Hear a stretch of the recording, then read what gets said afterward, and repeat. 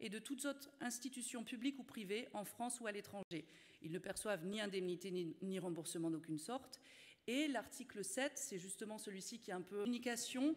Euh, et nous avons, euh, le bureau a décidé de former un groupe dédié qui ne se chargera pas lui-même de la communication en soi, mais euh, qui formulera des, avis, des recommandations euh, nous avions au sein du bureau émis la volonté d'avoir des, spécialistes.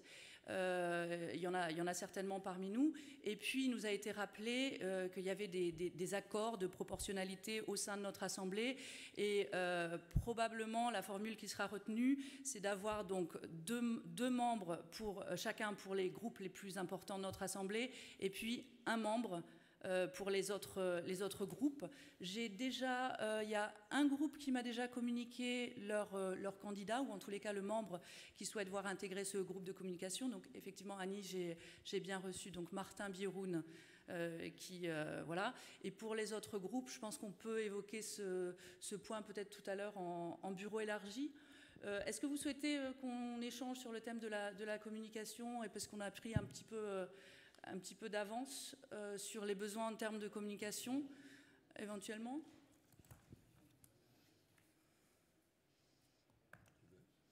Non?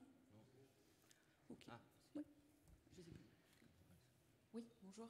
Alors, est-ce que vous pouvez vous, vous, présenter? Audrey Leclerc. Audrey Leclerc, d'accord. D'Allemagne du Sud. Euh, juste euh, non, une petite remarque en fait pour les jeunes, tout ça, les réseaux sociaux, ça serait vraiment cool si on pouvait en avoir des actifs en fait pour la FE. je ne sais pas si euh, vous pouvez. Alors quel, quel genre de, de, réseaux sociaux puisqu'il y en a déjà en fait. Oui, du euh, coup vous, pouvez nous expliquer un peu. Oui, là-dessus sur ce sujet, qu'est-ce qu'il y a et qu'est-ce qu'on. Qu'est-ce qui existe Ah, qu'est-ce qui existe déjà Il y a, il y a euh, au niveau des, il y a sur LinkedIn par exemple, il y a un groupe Facebook qui est réservé aux membres de l'AFE et aux conseillers des Français de l'étranger qui est un groupe privé. Donc un groupe Facebook ou LinkedIn? Euh, C'est un groupe Facebook et je pense que c'est une page LinkedIn. D'accord. Voilà. Et Twitter? Twitter, je pense pas. Alors, le, justement, c'est bien qu'on échange là-dessus parce que si c'est créer un nouveau canal, il faut l'alimenter. Donc ça fait partie des réflexions et de dire si on décide de faire ça, il faut vraiment que ça vive. Ce qu'on a euh, mis en place, peut-être, Monsieur le Vice-président Alexandre. Simplement, euh, justement, comme euh, vous tous, on, avait, on a constaté qu'il y avait une absence de communication. En tout cas, il n'y avait pas de support qui était vraiment défini. Donc l'objectif, bien entendu, de ce groupe de travail, c'est de faire des propositions en ce sens, sachant que tout est lié également parce que, comme vous le savez, on a eu il y a à peu près à peine il y a, il y a, un mois, il y a quelques semaines, un problème avec le site qui a nécessité bien entendu une réunion avec, euh, avec le cabinet du ministre, le SG et également la DFAE pour évaluer la problématique justement de ce support de communication, pour savoir s'il était encore adapté, s'il pouvait faire, euh, on pouvait le développer ou s'il valait mieux éventuellement euh, partir sur de nouvelles bases et peut-être créer une nouvelle plateforme. Donc tout ce qui est lié, on va dire, à la fois au site internet, mais également aux, supports euh, digitaux type réseaux sociaux, euh, tout, tout, est lié. Donc en attendant, on a décidé avec le bureau d'ouvrir deux boucles Telegram qui à la fois euh, relate un peu les informations, on va dire, euh, euh, quotidiennes qui peuvent être diffusées, qui sont en lien bien entendu avec les travaux de l'AFE. Alors il y a deux boucles. Il y a une boucle qui s'adresse aux conseillers de l'AFE et une autre boucle Telegram qui est plus qui est élargie aux conseillers des Français de l'étranger.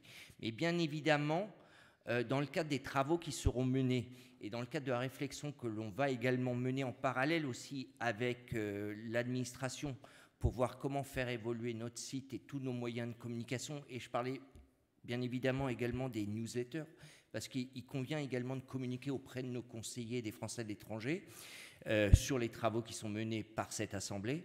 Tout cela fera l'objet, je pense, d'ici la session d'octobre, de propositions je dirais, ça ne nous empêche pas également peut-être euh, d'avancer avant la session d'octobre sur des travaux qu'on arrive à les finaliser en intercession après avoir échangé avec le bureau, et bien entendu, on, on, fera en sorte que euh, à la fois le site internet, mais également les réseaux sociaux, tout soit lié pour que on aboutisse à quelque chose qui tienne la route et qui permette d'avoir une communication fluide avec l'ensemble de nos conseillers.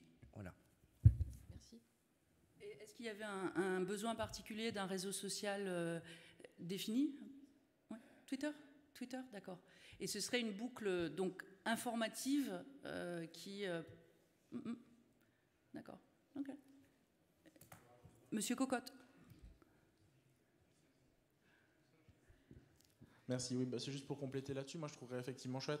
Je vois qu'il y a de plus en plus de, services très officiels en fait qui se dotent d'un Twitter ou d'un Facebook.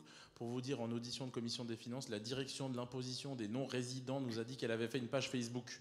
Donc je pense qu'effectivement, un truc, mais très formel, évidemment, le but, c'est pas de faire des messages politiques, simplement de relayer, par exemple, qui est passé en audition en plénière, enfin du relais assez facile. Et aussi un autre point, c'est qu'en fait, nous, quand on mentionne dans nos différents tweets, qu'on puisse mentionner la page de l'AFE, puisqu'en fait, c'est quand même intéressant aussi pour les gens pour retrouver une centralisation des données euh, quand on se questionne là-dessus.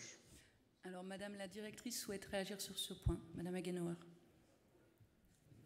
Non, en fait, je souhaite réagir plus largement. On a une proposition à vous faire, euh, sans, préjudice des travaux euh, du groupe, évidemment. Euh, on vous propose en fait de vous mettre à disposition, évidemment, ce serait géré par vous, mais un blog, si vous voulez communiquer, c'est une, idée aussi qui pourrait peut-être être intéressante. En tout cas, je la pose sur la table.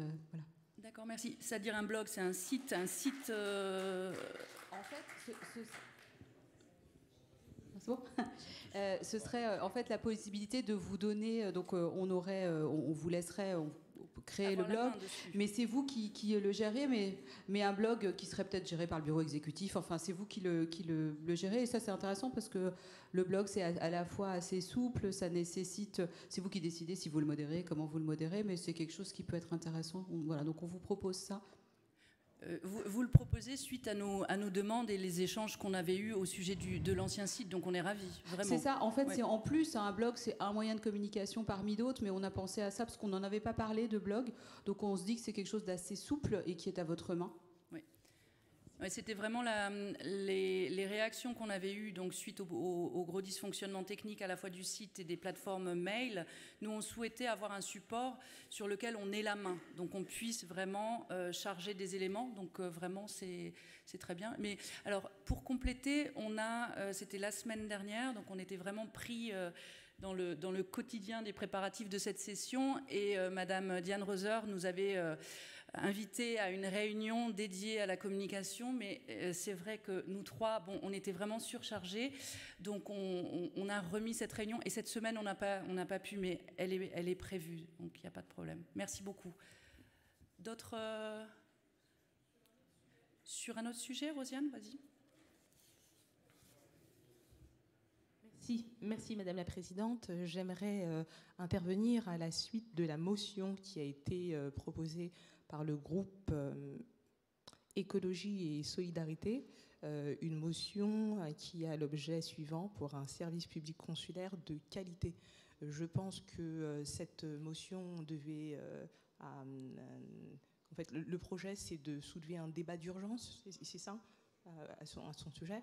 Donc je regrette de devoir dire publiquement ce que j'avais pris le soin d'indiquer en, aparté et en toute amitié, euh, au groupe concerné. C'est-à-dire que, je, à titre principal, ma demande consiste à, ce que cette motion soit retirée, puisque elle l'est déjà.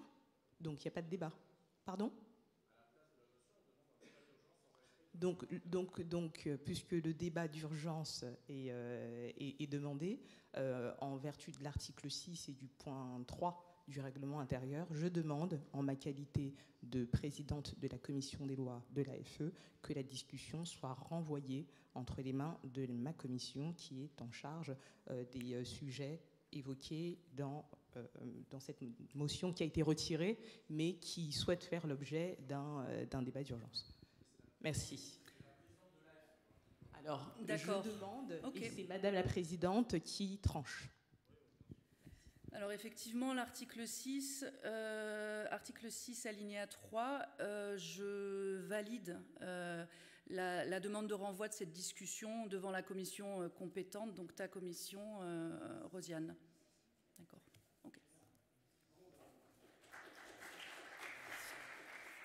Daphna? Écoutez, lundi, premier jour de la session, on a voulu nous transformer en Douma.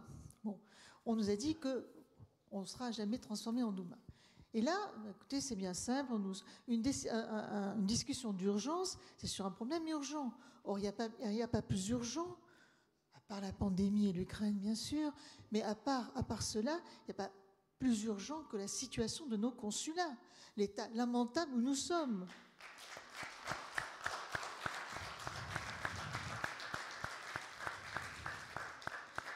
Vouloir renvoyer la décision, une discussion d'urgence tout de même, à six mois, je trouve que c'est du foutage de gueule. Je vous le dis très franchement.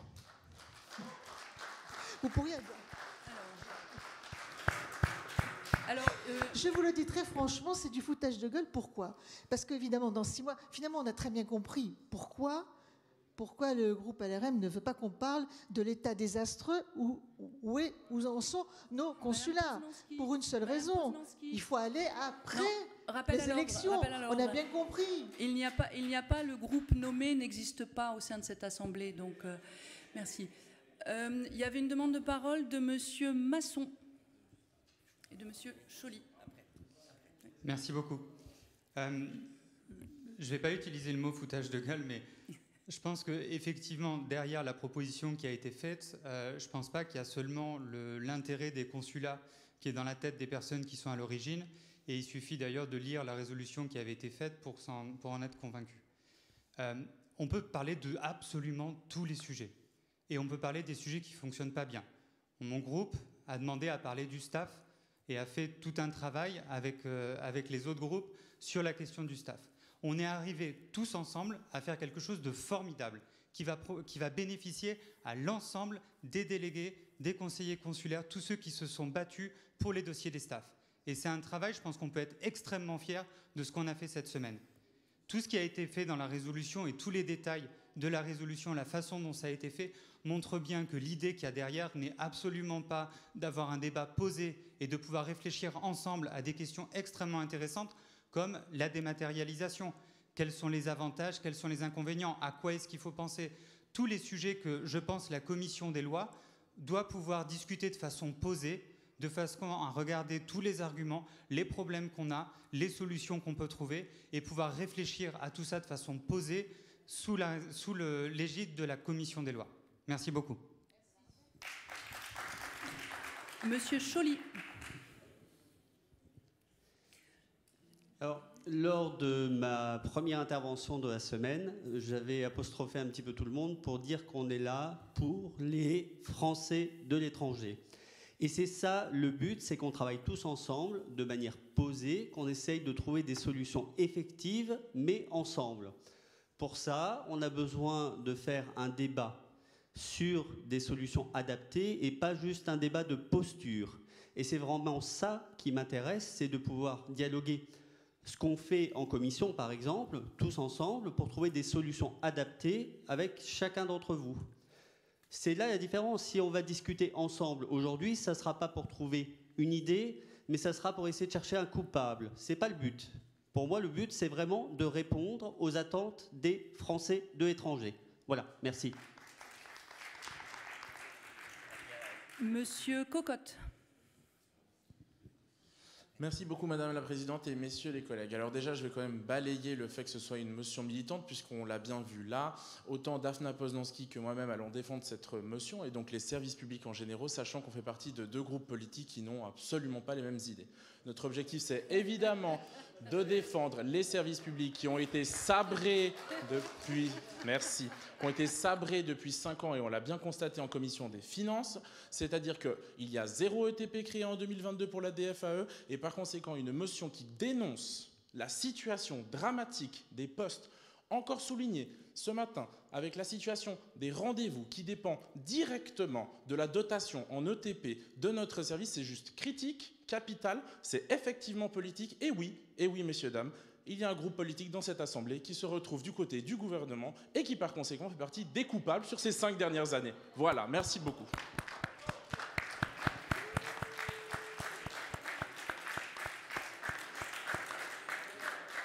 Madame Poznanski.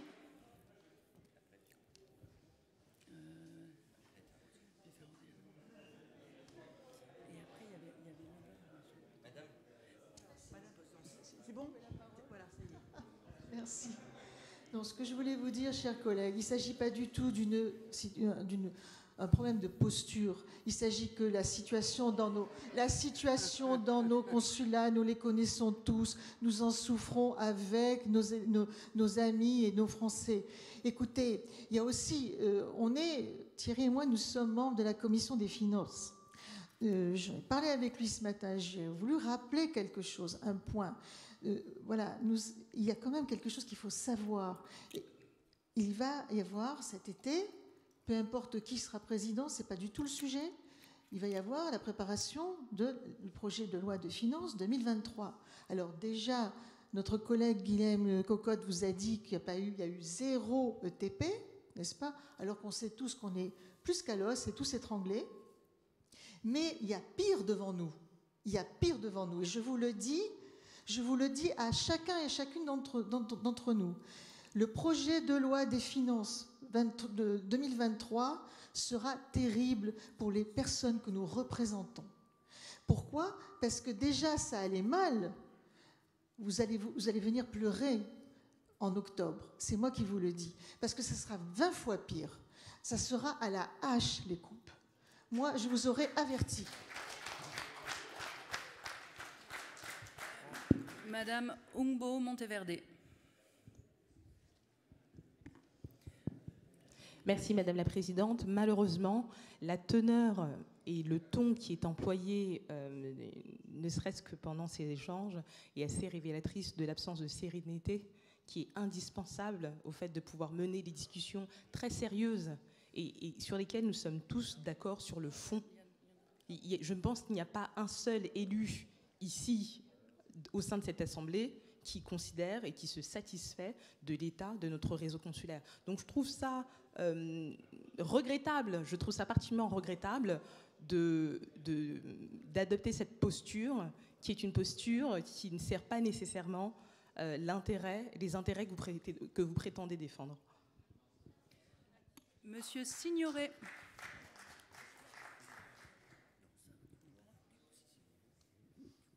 Mesdames, Messieurs, chers amis, le problème, et on est bien d'accord, et je ne pense pas que ce soit nécessaire d'en faire toute une histoire. Le problème à la base est un problème de forme. La forme est toute simple, c'est qu'une motion est ponctuelle. Une motion est pour euh, un, poste en particulier, pour un problème en particulier, pour une personne en particulier. D'autre part, c'est vrai que les, euh, les résolutions, ça se fait à travers une commission.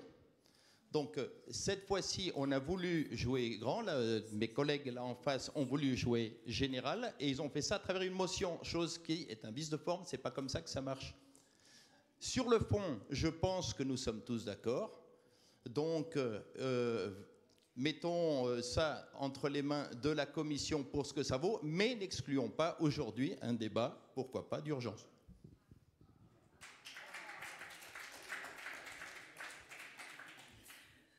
Alors, je, souhaitais revenir également sur le règlement intérieur, parce que ça fait, on est dans la, dans la séquence des points euh, divers. Euh, il y a plusieurs personnes qui en, qui en faisaient partie, qui ont apparemment pas vu ce qui était euh, précisé et qui maintenant disent c'est pas normal puisque c'est pas possible.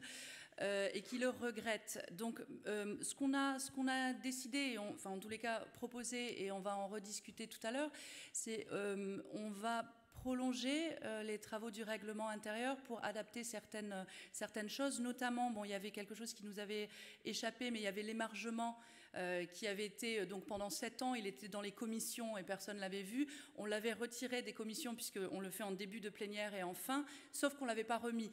Donc ça, ça nous avait été signalé et il nous a paru plus simple de prolonger les travaux du règlement intérieur avec euh, a priori les mêmes personnes, sauf s'il y a vraiment un, gros souci au niveau d'un groupe, mais ça, ce seraient les, présidents de groupe qui devraient nous, l'indiquer tout à l'heure. Et euh, ça permettra peut-être de, régler euh, certains problèmes et de fluidifier encore plus le, fonctionnement de, notre, de notre Assemblée. Il y avait euh, M. Sfer qui souhaitait intervenir. Qui s'exprime cette fois Allô? Vous m'entendez? Oui. qui s'exprime à titre du membre du groupe Écologie et Solidarité. donc, on va mettre ça comme ça. Euh, Madame Monteverde, vous avez parlé, enfin, Monteverde, vous avez euh, parlé de sérénité. C'est un très beau mot, malheureusement, nos compatriotes, aujourd'hui, quand ils vont dans les consulats, ils ne sont pas sereins. Parce qu'ils ne vont pas dans les consulats. Et c'est pour ça, et c'est justement pour cette raison, c'est pour cette raison qu'il y a des sujets qu'on ne peut pas discuter avec sérénité, qu'il faut discuter en toute urgence. Et je pense que cette Assemblée aujourd'hui est habilitée à le faire et doit le faire pour aider justement la Commission à arriver avec des propositions qui sont peut-être porteuses de sérénité. Mais aujourd'hui, je pense qu'il n'y a aucun de nos compatriotes à l'étranger qui se sent vraiment serein. Merci. Monsieur Piton. Merci Madame la Présidente. Euh, l'article 6 est très clair dans son alinéa 1. L'urgence d'une discussion peut être proposée à l'Assemblée par le Président, le Bureau, une commission ou un groupe de 10 membres. On est donc parfaitement euh, légitime, effectivement, à demander un débat d'urgence. L'alinéa 3 dit le président, s'il le juge nécessaire, la présidente, si elle le juge nécessaire, peut décider de renvoyer une discussion d'urgence devant la commission compétente et l'enjoindre à rendre un avis, l'avis est communiqué, etc., etc. On a donc la possibilité de faire les deux. Jusque-là, on est tous d'accord. La question qui se pose, je ne vais pas reprendre le mot de sérénité ou pas de sérénité de notre collègue, je vais simplement reprendre le mot d'opportunité. Sommes-nous à la veille d'une élection majeure? La réponse est oui, même de plusieurs.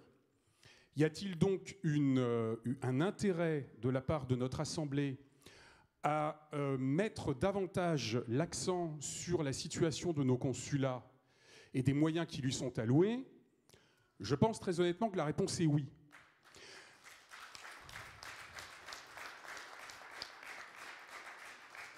Je pense également que nous sommes euh, suffisamment responsables pour être capables d'avoir un débat parfaitement serein, en responsabilité, et d'être capables de discuter de ce sujet et d'essayer de cibler ou de lisser les points qui nous semblent suffisamment importants. Je pense que si notre Assemblée s'exprime avant l'élection présidentielle et les élections législatives, cela aura, à tout le moins espérons-le, un véritable impact auprès euh, des pouvoirs publics, quels qu'ils soient. Et troisièmement, et je réponds à, notre collègue euh, présidente de la commission des lois, je pense que rien n'empêche, dans un deuxième temps, euh, de pouvoir examiner en commission pour le mois d'octobre, avec la sérénité nécessaire pour reprendre le terme de, notre collègue, euh, l'ensemble des, données ou des points qui peuvent effectivement donner lieu à une discussion collective dans un cadre plus, je dirais, plus feutré et peut-être plus technique, qui est celui de la commission des lois. De mon point de vue, l'un n'empêche pas l'autre, mais je crois qu'en termes de symbole, il est important que notre Assemblée puisse effectivement pointer du doigt, de manière un petit peu plus solennelle, les difficultés qui sont actuellement celles que connaissent nos consulats en vue d'interpeller les candidats à l'élection présidentielle, et ça me semble être le moins. Je vous remercie. Monsieur Benahim. Non Vous retirez? D'accord. Monsieur Barthélémy. Je crois que d'un point de vue logique, et peut-être que c'est uniquement ma logique, mais je crois qu'on la partage dans, cette Assemblée, c'est que les commissions chargées des sujets à étudier dans cette Assemblée ont été nommées, sont euh, représentées, les représentants de chaque groupe en font partie, la commission des lois est aussi chargée des services consulaires, je ne me rappelle plus exactement du terme, mais c'est vraiment la commission des lois qui doit euh, porter un, jugement et peut-être travailler euh, sur cette question avant que l'Assemblée puisse s'en saisir. Euh, le deuxième point, c'est que vous avez eu toute l'opportunité que vous avez voulu d'interpeller le gouvernement au moment des questions au gouvernement sur ce sujet éminemment politique. Je ne crois pas que vous l'ayez fait. Alors, si vous l'avez fait, pourquoi voulez-vous recommencer maintenant en fin de session vendredi après-midi? Je ne pense pas que ce soit nécessaire. Vous voulez parler politique, vous l'avez fait. Votre discours a été publié, c'est fait. Monsieur Heinz. Oui, merci. Enfin bon, c'est simple. Soit on a un débat sur la méthode, soit on a un débat sur le fond. À un moment donné. Voilà, non, non, voilà, c'est que se, rentrer que sur la méthode, on connaît la technique, c'est pour ne pas discuter le problème sur le fond. Le problème sur le fond, c'est le problème du service public. C'est un problème qui est imminent, qui est urgent. Et comme l'a dit le collègue Olivier, à un moment donné, il faut savoir saisir les opportunités pour cette Assemblée de se faire entendre. Et aujourd'hui, c'est l'opportunité qu'on demande de saisir. Le point est important, le point est important cruciale, qui est transversale, qui nous concerne tous, et je crois qu'on sera tous contents de rentrer en circonscription pour dire que aujourd'hui l'Assemblée se positionne sur cette question et demande au gouvernement de faire un effort. Quel qui sera le gouvernement qui sortira des prochaines prochaines échéances, pardon. Mais en tout cas, c'est aujourd'hui que notre parole porte. Appelons ça comme on le veut, c'est un problème de méthodologie peut-être, on l'améliore. La méthodologie, il y a des annonces qui ont été faites pour qu'en plus à terme la question ne se pose plus de manière à bloquer nos débats. Mais aujourd'hui, ce qui est important, c'est le fond. Merci.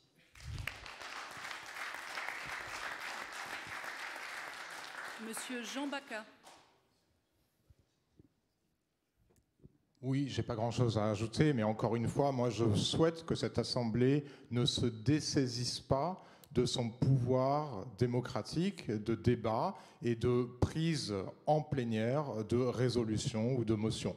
Donc ça nous semble un point très important. C'est pas parce que on conteste la compétence et la technicité des commissions que nous souhaitons ici avoir une motion ou une résolution, si vous préférez l'appeler comme ça, qui soit adoptée par la totalité de notre Assemblée. Merci. Monsieur Masson. Oui, juste. Un, deux. Euh, non, juste pour être, euh, pour être bien clair. Euh, ce qui, euh, pour moi, était le plus problématique, c'est la résolution qui était affichée là, qui parlait du diktat de la maîtrise des dépenses publiques. Je ne suis pas sûr que l'ensemble de cette assemblée pense qu'il y a un diktat de la maîtrise des dépenses publiques. Quand on voit les positions des différents candidats, je ne pense pas que ce soit une position majoritaire. donc, pour moi, le principal était que cette résolution, qui à mon avis était une mauvaise résolution, qui était une résolution qui était complètement unilatérale et dont euh, le, contenu était réellement mauvais, euh, que cette résolution ne soit pas adoptée. Concernant le travail de cette Assemblée, je pense que si on doit adopter quelque chose d'écrit, il est important que ça passe par la commission des lois, qui fasse ce travail avec l'expertise euh, qu'elle a. Sur l'histoire de débattre, bah, on n'est jamais contre débattre, on fait que ça, débattre pendant toute la semaine. Donc le, fait d'avoir un débat en soi me paraît pas absurde. Après, euh, que vous ayez constaté l'urgence de la situation des consulats euh, aujourd'hui à 14 heures, ça me semble un peu euh, bizarre. Donc, est-ce que l'objectif c'était d'avoir un débat en, toute fin de, séance? Ça me semble un peu absurde. maintenant, en fait, ce débat, on est en train de l'avoir maintenant. Donc, ça ne sert à rien de débattre sur le débat. Je ne sais pas comment est-ce que vous voulez, si jamais on accepte un débat en fait, on est en train de l'avoir là. Donc, euh, je pense que de fait, on l'a accepté. Euh, et, moi, encore une fois, j'avais absolument pas de problème sur le fait de débattre. Je pense que le, vrai problème, c'était la résolution. Euh, maintenant, si on parle du fond, on peut tout à fait parler de la question du nombre d'emplois consacrés au consulaire depuis 2017. On peut aussi s'amuser à remonter dans le temps. Et on peut voir si peut-être du côté de la gauche et du côté de la droite, il n'y a pas eu des réductions du nombre d'emplois concrètement depuis de nombreuses années. Et je pense qu'il est complètement... Euh, on joue complètement contre nous si on s'amuse simplement à faire de la petite politique, de montrer qu'il y a un groupe qui serait responsable de la, de la diminution du nombre euh, d'emplois. Deuxièmement, sur les dernières euh, semaines et les derniers mois qui viennent de se développer, on a augmenté le nombre euh, d'emplois pour gérer la question en Ukraine, par exemple. Et ça a été, ça a été souligné. C'est bizarre que c'était absent de la résolution que vous avez faite. Donc je pense qu'on a une responsabilité collective et qu'il faut avoir le débat de façon posée, considérer dans l'histoire euh, ce qui a été fait et travailler ensemble pour l'intérêt des Français de l'étranger et pas avoir ces semblants de débats. Je, vais me permettre une petite, euh, petite remarque également qui est l'organisation. Euh, effectivement, euh, s'y prendre le dernier jour, alors qu'on est quand même une assemblée, on peut discuter, on se voit.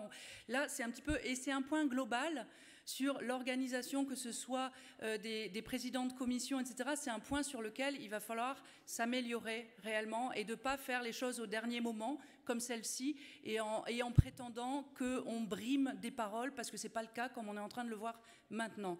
Maintenant, Monsieur Choly. Alors, moi, j'ai une question à, l'ensemble de l'Assemblée. Euh, j'ai remarqué depuis qu'on a commencé donc les restitutions jeudi. on a commencé par la commission des lois, on était là, et, puis finalement un certain nombre de personnes ici n'étaient pas présentes pour des bonnes raisons, parce qu'elles devaient travailler encore sur leur rapport, elles devaient travailler dans leur commission interne. Et donc là aussi, il y a peut-être un problème de méthode euh, sur la manière de faire, puisqu'on passe du temps à travailler dans ces commissions, à faire des auditions qui sont importantes, et tout le travail que j'ai pu voir ici de chacun était vraiment euh, euh, riche, avec de nombreuses consultations. C'est dommage que vous ne puissiez pas assister tous, autant que vous êtes, aux restitutions, parce que c'est important, il y a des choses qui sont dites, euh, sur euh, la modernisation euh, des services consulaires, sur la dématérialisation. On a reçu des informations qui étaient intéressantes en commission, mais qu'on a essayé de vous faire partager. Et les messages ne sont pas forcément passés. Alors, je parle là de l'exemple de notre commission à nous. je pense qu'il y a à la fois du fond et de la forme là-dedans. C'est-à-dire qu'il faut qu'on trouve un moyen de fonctionner ou peut-être de rallonger euh, euh, les, les, thématiques en plénière où on peut discuter tous ensemble et peut-être de se reposer la question du sens euh, qu'on a à faire en commission si derrière, de toute façon, c'est pas écouté parce que personne n'est là. Pour moi, c'est des choses qu'il faudra peut-être voir ensemble dans le futur, de savoir qu'est-ce qui a du sens ou pas, de travailler en commission, de faire des beaux rapports, et derrière, qu'est-ce qu'on en fait? Voilà, c'est juste ma remarque. Merci. Madame Umbo Monteverde. Tout a été dit? Madame Dubar. Bon là, c'est bien les, sujets d'organisation, etc. Mais je crois qu'on doit revenir quand même au problème qu'on a aujourd'hui, c'est-à-dire qu'on a un problème d'opportunité et on, a à débattre, euh, enfin, on, a un problème de fond sur lequel on est tous d'accord. Donc pour euh, vraiment attraper cette opportunité qui ne va pas se retrouver d'ici cinq ans, euh, moi je, pense que l'on pourrait reprendre ce texte qui a été fait, euh, l'adopter aujourd'hui en le modifiant, euh, évidemment, pour trouver un consensus au sein de l'Assemblée sur ce qu'on doit en faire, enlever les choses qui dérangent trop. mais laisser au moins la substance qui nous vraiment qui est au cœur de notre action. Et notre action, c'est maintenant, c'est pas dans six mois. Madame. Monsieur Méran.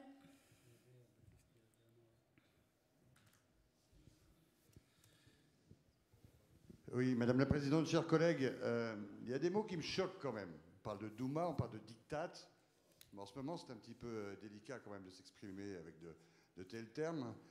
Je voudrais aussi vous dire que j'ai lu cette motion et euh, j'ai regardé la, demande numéro 2 que vous avez formulée. La demande numéro 2, c'est demander un audit de l'état de santé des agents consulaires. C'est une mesure qui, dans le privé, emmène directement en prison pour un chef d'entreprise. Demander un état des lieux de la santé de ses employés. C'est impossible. Il y a un secret médical, il y a une liberté individuelle. Alors, cette motion était faite dans la précipitation, dans la précipitation pardon, et c'est clair qu'un renvoi en commission était nécessaire, parce qu'il y a vraiment des incohérences qui sont totalement euh, apparentes. J'ai compris l'intérêt, le prémisse de l'intérêt du fond de la motion. Mais pour autant, la forme est tellement mauvaise qu'on ne peut absolument pas s'y fier. Et le travail en commission est bien sûr nécessaire. Monsieur, Monsieur Heinz. Très simplement, hein, je suis euh, content des différentes interventions. Je suis d'accord avec Monsieur euh, collègue Choli, puisque euh, quand on a cherché à déposer un, premier texte mardi, on a cherché un peu comment il fallait faire, puisque dans l'agenda, finalement, il n'y avait que cette fin de semaine qui était avec le point des questions diverses. Donc, je suis très content qu'on soit assez nombreux à penser que finalement, il faille agender, il faille organiser l'agenda de sorte à ce que ces débats de fond puissent avoir lieu en début de session. Donc ça, c'est une première chose. Ensuite, effectivement, euh, la forme ayant évolué, une nouvelle fois, euh, je crois qu'on va prendre les, remarques. Je crois que la proposition qui a été faite est, à mon avis, celle qui est la plus intéressante. C'est de, à partir du moment où on est d'accord sur l'opportunité et que c'est le temps de poser les éléments, c'est le, le temps de poser la question et de demander quelque chose à ce gouvernement, eh bien, travaillons ensemble, prenons le petit instant qu'il faut Bien sûr, attends. Et donc voilà, faisons ce travail-là. Regardons, il y a une première base qui a été proposée. Effectivement, donc elle n'a pas été faite en urgence puisque beaucoup d'entre vous, vous l'aviez découvert à partir de, je crois, jeudi, elle a été mise sur les murs. Donc voilà, après on a corrigé le tir parce qu'effectivement le process n'était pas forcément encore tout à fait opportun puisque les statuts, enfin les règlements intérieurs ne le permettent pas sous cette forme dans la nouvelle réécriture. C'était peut-être une pratique qui se faisait avant, donc il a fallu le clarifier. Donc c'est une bonne chose qu'on aille dans ce sens-là. Donc maintenant, débloquons la situation, avançons sur le fond et regardons sur ce qui a été proposé, ce qui doit être fait et ce qui peut être dit pour que ce soit dit. Voilà. Monsieur, Monsieur Cocotte. Merci. Juste pour répondre à mon collègue Méran des affaires, euh, enfin des finances, pour dire que pourtant, lors d'une de nos auditions, il nous a été dit qu'effectivement, Madame Agenauer a fait des audits euh, de l'état de santé des différents postes avec différentes rencontres Zoom qu'elle fait avec les postes pour obtenir. L'objectif de la, demande, c'est d'avoir un audit général, d'avoir une situation globale, d'avoir une vision sur les états de santé, parce qu'on a tous des relais dans les différents consulats qui nous disent que les postes sont à bout. Par conséquent, la question, c'est comment est-ce qu'on dresse un document général, global, sur euh, la DFAE en général, enfin, dans totalité, qui nous dit où est-ce qu'on en est avec ces ETP. Sachez notamment que la commission des finances, va, faire, on va inviter la DRH, c'est ce qui a déjà été décidé, pour euh, avoir l'évolution des ETP sur les années, parce que M. Masson a sûrement raison. On ne va pas se défausser. les différents gouvernements, il y a sûrement une baisse générale qui date de bien avant, etc. Sauf qu'aujourd'hui, le gouvernement en place n'a pas pris ses responsabilités. Par conséquent, moi, je vous propose d'aller dans cet esprit-là, d'avoir une résolution. Nous qui l'avons rédigée, sommes d'accord de mettre un peu d'eau dans notre vin, d'enlever le mot dictat, évidemment, qui a une certaine connotation politique, et de trouver une résolution qui nous va à toutes et tous. On a déjà fait en intelligence avec le groupe DCI. Je suis certain qu'il est possible de le faire avec le groupe IDP et le groupe SI. Merci à vous, chers collègues. Madame Réa. Merci, Madame la Merci Madame la Présidente. Je souhaiterais faire une observation. Pouvons-nous, s'il vous plaît, reformuler de quoi sommes-nous en train de parler? Ce matin a été affiché deux motions, ont été affichées deux motions, donc qui ne correspondaient pas à la, forme d'écriture d'une motion, puisqu'il y avait en effet euh, des, euh, des, visas qui ne concernaient pas euh, des articles de loi ou de décrets. Euh, donc ça, c'est une première chose. Et une deuxième, il est en effet presque 18 heures. L'Assemblée, la session devrait se clôturer. Pourquoi parlons-nous de ce sujet que je, je, ne conteste pas le bien fondé et la finalité, parce que nous partageons bien évidemment cette nécessité, mais pourquoi en arrivons-nous à 18 heures pour débattre indéfiniment de ce sujet Merci. Merci, Monsieur Masson. Oui, non. Euh, je voudrais faire deux remarques. La première, c'est que la, proposition qui a été faite de pouvoir retravailler la, résolution, euh, c'est une proposition intéressante si jamais elle avait eu lieu hier, par exemple. Là, on est à 15 minutes de la fin des travaux. Et à 15 minutes de la fin des travaux, vous voulez qu'on s'assoie et qu'on fasse un texte sur un sujet aussi important qui couvre l'ensemble des affaires consulaires. Vous parlez de, plein de choses dans la résolution. Moi, je trouve que c'est vraiment pas une façon de travailler correcte. Alors, je ne sais pas si c'est on travaillait comme ça avant, mais moi, je pense vraiment que c'est pas une façon de produire un travail qui soit correct et qui puisse servir à quoi que ce soit. Donc, ça, c'est le premier point. Le deuxième point, je pense qu'il y a quelque chose qui manque dans le travail qu'on fait au sein de, cette Assemblée, c'est la possibilité pour les groupes politiques de pouvoir également faire des propositions, des résolutions. Je pense qu'à côté du travail euh, des, commissions, ça peut être intéressant d'avoir des propositions des groupes politiques. Mais dans ce cas-là, euh, il faut euh, modifier le règlement intérieur et, et, faire quelque chose dans ce sens-là. Oui. Alors, Effectivement, par rapport à la, pression horaire, moi je vous dirais un peu de sérieux. Effectivement, il est, trop tard pour s'y mettre là. Euh, et euh, la discussion en urgence aurait pu être convoquée bien avant. On aurait pu travailler sur quelque chose de sérieux qui aurait fait honneur à notre Assemblée et aux Français de l'étranger. S'il vous plaît. Merci. Alors maintenant, il y a Madame Diane Rosser qui souhaitait euh, intervenir. Alors je vais revenir parce que moi je vais effectivement renvoyer la discussion devant la commission euh, compétente et l'enjoindre à rendre un, avis. Et euh, je vais passer la, parole à Madame, Diane Rosser qui, qui, est en ligne, qui est en ligne, et que je, je remercie d'ailleurs de s'être connectée, puisque elle, comme moi, a des impératifs familiaux qui sont parfois bien plus graves en soi que ce qui se passe dans cette salle en ce moment. Sérieusement, moi, je suis un peu choquée, finalement. Peut-être que je, je suis un peu émotive, mais je me dis non, c'est pas sérieux. Madame Diane Roser, merci. Merci beaucoup, Madame euh, la Présidente. Je, ne sais pas si bah vous m'entendez tous bien. Non, je la renvoie devant la. Euh, alors moi, c'était en fait, euh, je, suivis évidemment les, débats à distance et, je vous prie de, m'excuser de ne pas être à, vos côtés cet après-midi, mais positivement, ça me permet de, tester la participation à distance, donc c'est un mal pour un bien. moi, j'étais peut-être plutôt sur, des mots de clôture après ces, débats assez, vifs et, tout, à fait, tout à fait intéressants.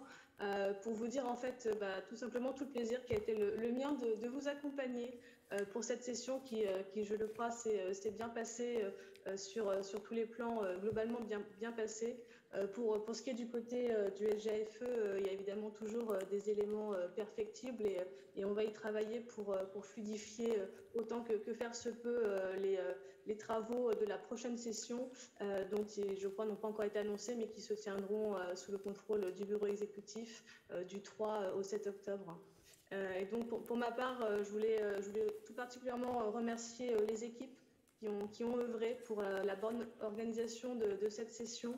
et parmi ces équipes, il y a des visages que vous voyez tous les jours, qui vous accueillent et qui vous accompagnent. Et à ce titre-là, je voudrais euh, tout particulièrement remercier euh, l'équipe des hôtesses qui est conduite par euh, Catherine, avec qui nous avons toujours le, plus grand plaisir de travailler.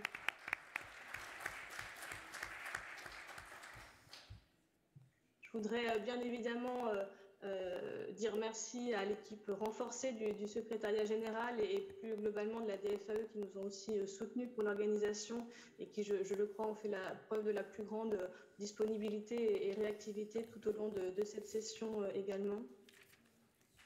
Et, je voudrais, si vous me permettez, aussi remercier ceux que vous ne voyez pas toujours, qui sont un petit peu plus dans l'ombre, que vous ne, connaissez pas forcément, mais qui font un travail tout aussi indispensable au, euh, bon, à la bonne tenue de, cette assemblée. Euh, il y a tout d'abord les, techniciens qui sont en régie, les techniciens de, notre, de notre, prestataire euh, l'ENI, qui permettent à la fois la, rediffusion de, l'assemblée et aussi la participation des membres à distance avec les collègues de la direction du numérique du ministère. Évidemment, toutes les équipes du CCM que je remercie très, très chaleureusement et aussi nos, collègues qui, font la couverture photographique, dont M. Volvin euh, et, la cellule communication de la DFAE qui était aussi présente euh, au premier jour de, l'Assemblée.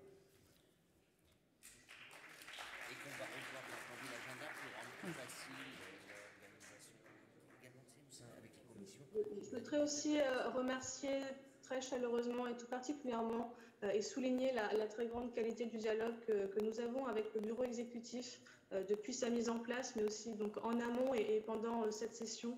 Donc évidemment, comme, Madame la Présidente vous l'avez dit, on, va, on, va, évidemment poursuivre notre travail commun euh, sur l'organisation euh, euh, de, de, l'Assemblée, de la prochaine session et également l'articulation entre les sessions plénières et, les travaux des commissions pour que voilà, pour que l'ensemble des résultats soient, soit sans doute plus visibles et plus entendus par l'ensemble des membres et plus, plus largement.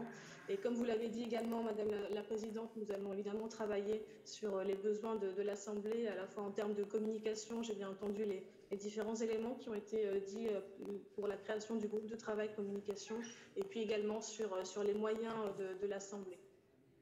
Nous allons également prendre la tâche donc, des, présidents et vice-présidents des, commissions euh, afin d'avoir vos, retours d'expérience sur l'organisation de cette session et puis également pour euh, anticiper et planifier la, programmation des, travaux de la prochaine assemblée. Euh, et également, donc en accord avec le bureau exécutif, on, vous demandera, si, cela est possible pour vous, de, nous transmettre vos rapports finalisés d'ici la, la, fin de la semaine prochaine pour que nous puissions les publier. Et puis enfin, donc, à, l'attention de, l'ensemble des, membres de l'Assemblée, le, reste à votre, entière disposition et on reviendra évidemment vers, vers vous pour, notamment pour les questions écrites qui n'ont pas encore trouvé de, réponse. J'en termine euh, maintenant pour un dernier, mot très administratif, euh, mais qui nous colle bien au, SGFE, euh, pour rappeler toutes celles et ceux qui ne l'ont pas encore fait de bien vouloir nous transmettre leur justificatif pour cette session afin que nous puissions procéder au, remboursement. Donc voilà, je vous dis à, très bientôt pour, pour la prochaine session.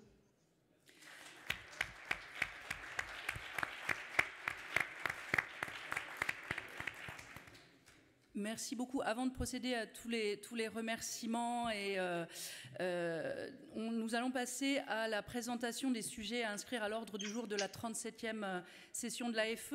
Donc cette session se tiendra du 3 au 7 octobre. Donc la date nous a été indiquée depuis quelques semaines et a été revalidée ce matin en bureau exécutif et puis en, bureau. Parmi les sujets à mettre euh, à l'ordre du jour, euh, il y a le ravivage de la flamme. Euh, avec Florian qui, voilà, qui est là-bas. Donc effectivement, Florian et la, la, Commission des affaires sociales avaient formulé la volonté de procéder au ravivage de la flamme, qu'on avait bien évidemment validé. Et puis on s'était rendu compte que logistiquement, c'était vraiment très très contraint. Et donc avec la commission, on avait euh, validé le fait de reporter ça à notre prochaine session. Donc euh, Florian, comme, euh, comme je t'avais dit, on va avoir un, dialogue ensemble et avec le secrétariat général pour voir quelle formule on va valider pour choisir la bonne date. et puis tout ça va se, va se mettre en place. On a maintenant six mois pour préparer la prochaine session. Euh, moi, je, sais que surtout, il faut euh, poursuivre tout de suite. Donc, Diane disait, envoyez vos rapports. Effectivement, euh, dès la semaine prochaine, il faut qu'ils soient finalisés pour qu'ils soient publiables, partageables. Donc, tout de suite, enchaîner. Un autre sujet qu'on souhaitait mettre à l'ordre du jour en plénière, nous avons essayé cette fois-ci, mais c'était un peu contraint, c'était le sujet des, des, violences et du harcèlement à l'égard euh, des, élus et nous aimerions avoir euh, un intervenant ou une intervenante en plénière pour traiter de ce sujet qui est également très important pour nos conseillères et conseillers des Français de l'étranger. Donc c'est important d'avoir une séquence comme ça en, plénière. Euh, lors de notre audition par le groupe d'études du Sénat, euh, il nous a été proposé de poursuivre ce, travail, ce dialogue. Donc il y aura probablement euh, une autre séquence lors de la session euh, d'octobre. on n'a pas encore bien sûr finalisé, mais l'idée c'est peut-être de faire un petit déjeuner de, travail. Donc à nouveau probablement avec le bureau exécutif, les présidents de, commission pour poursuivre vraiment ce, dialogue, ces échanges. Et avec le, le bureau exécutif et les présidents de commission, on a d'ailleurs remarqué que ce qui serait euh, encore plus pertinent, c'est d'avoir des échanges avec les sénateurs qui ne sont pas les sénateurs des Français de l'étranger, puisque c'est vrai, les sénateurs des Français de l'étranger, on les, pratique euh, presque au quotidien ou en tous les cas très régulièrement. Et là, la plage horaire ne nous a pas permis euh, d'approfondir ces échanges. Donc ça, c'est une séquence qu'on doit planifier. Euh, on a vu aussi qu'au niveau de la fluidité du travail, que ce soit en commission ou en plénière, il y avait vraiment des améliorations à faire, notamment au niveau de la maîtrise des horaires. Je pense que euh, pour les présidents et, la présidente de commission, euh, il y a eu un, réveil par rapport euh, à la charge de travail et à ce qu'est une audition. Donc, on a toute une mandature. Moi, c'est ce que j'ai dit au président de, de, commission. Donc, de peut-être pas trop charger les auditions qui nécessitent un énorme euh, travail. Sachez que j'ai bien entendu tous les retours sur euh, la nécessité d'avoir alors je ne sais pas si un administrateur, un scribe ou en tous les cas une personne qui serait chargée de la euh, prise de, alors pas de, notes, mais des auditions pour fluidifier le travail des, commissions. On a évoqué ce matin en bureau quelques pistes euh, avec le secrétariat général, notamment une possibilité de faire intervenir euh, des, stagiaires. Donc on travaille là-dessus. On a vraiment pris en compte, tout ça. Il y a eu également le, le programme qui euh, peut-être le, travail en commission qui devrait commencer plus tôt, le lundi, euh, peut-être le lundi midi, pour, euh, pour permettre euh, aux commissions de, respirer un petit peu plus. On va prendre en compte tout ça, on va avoir des échanges très réguliers. On a également conclu avec euh, le secrétariat général qu'on allait se, voir, alors virtuellement ou, en vrai, puisqu'on sera là à Paris dans, le, cadre du, du vote électronique des prochaines législatives, de faire des points très très réguliers pour améliorer encore ce, qui, euh, ce, qui, peut être fait de, cette, Assemblée, de rendre honneur euh, à nos travaux et surtout honorer les Français de l'étranger.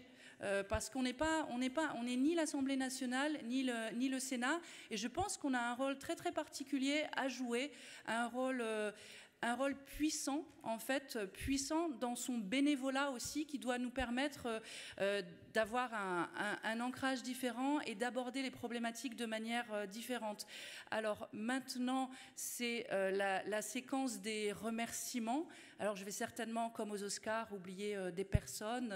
à vous tous, merci les élus, merci un merci particulier à celles et ceux qui nous ont suivis en ligne, parfois avec un décalage horaire, euh, des petits problèmes techniques, mais je pense qu'ils n'ont pas été très, euh, très nombreux cette fois, heureusement.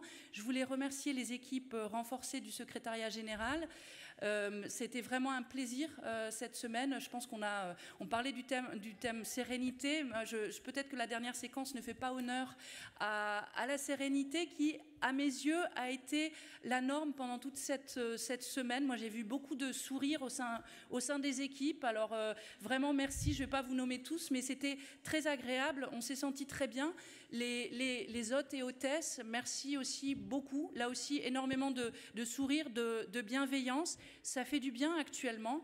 Euh, je vais clore cette 36e session. Pardon? Et un grand merci à la présidente quand même. le, bouquet est là. Euh,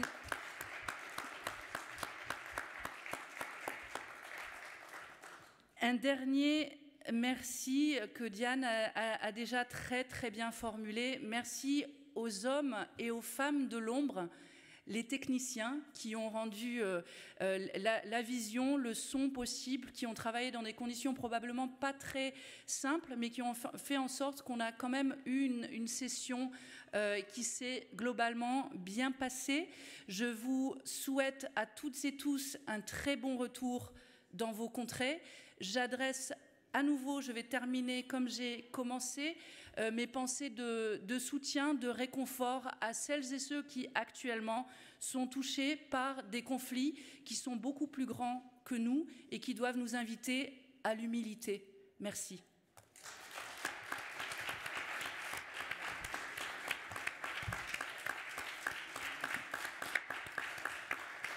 Alors, nous avons nous avons rendez-vous en bureau exécutif à 18h. Petit rapport, alors c'est un peu prosaïque de terminer comme ça, mais est-ce que vous avez tous signé? Moi, je ne l'ai pas fait, donc je vais peut-être aller signer. Et bon retour, bureau élargi, 18h, 18h effectivement. Donc, euh, et un petit mot sur une note. Bureau élargi, bureau élargi. Un petit, une petite note un peu plus personnelle. Merci à celles et ceux qui ont une attention pour moi. Et vous savez pourquoi?